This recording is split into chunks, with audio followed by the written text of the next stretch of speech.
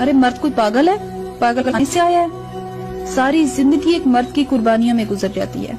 मर्द के सिर्फ़ पैदा होने की खुशी मनाई जाती है। उसके बाद वो सारी उम्र औरत की खिदमत के लिए निकलता है। कहता है कि मैं मर्द हूँ। पैदा हुआ, पंद्रह सोलह साल पढ़ा, बसों में, वैगनों में धक्के खाए। सबसे पहली बात क्या सिखाई जाती है उसे? कि तुमने माँ की खिदमत करनी है। और माँ कौन है? औरत है। इसके बाद जब तक वो कमाने की उम्र में पहुँचता है, कमाता है तो शादी की उम्र हो जाती है। शादी होती है, उसे सिखाया जाता है कि तुमने बीवी का ख्याल रखना है। बीवी कौन है? औरत है।